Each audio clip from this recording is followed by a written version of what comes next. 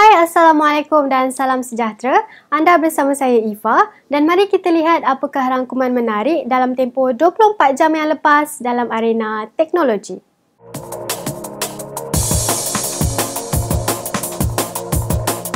Samsung kini telah memperkenalkan telefon Galaxy A8 2018 dan kini turut berkongsi mengatakan ia bakal hadir ke pasaran tempatan pada Januari 2018 kelak. Galaxy A8 2018 merupakan telefon pintar kelas pertengahan daripada Samsung tetapi hadir dengan ciri-ciri premium termasuk penggunaan dual kamera hadapan, sokongan kalis air dan rekaan skrin 18:9.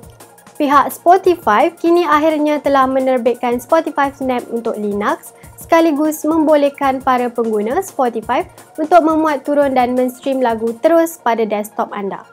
Tenaga Nasional Berhad kini telah dilihat mengambil alih sebuah syarikat penyedia perkhidmatan internet di Cyberjaya iaitu Setia Haruman Sendirian Berhad. Buat masa ini, Setia Haruman menawarkan perkhidmatan berkelajuan mencapai 1 Gbps di Cyberjaya pada harga langganan hanya RM399 sebulan.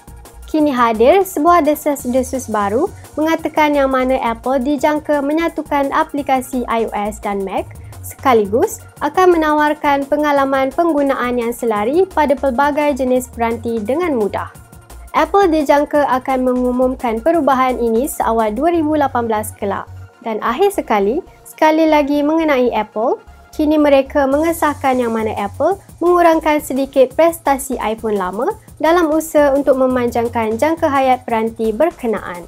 Jadi, ini adalah rangkuman secara ringkas dalam tempoh 24 jam yang lepas. Jumpa lagi esok dalam rangkuman Amans 24.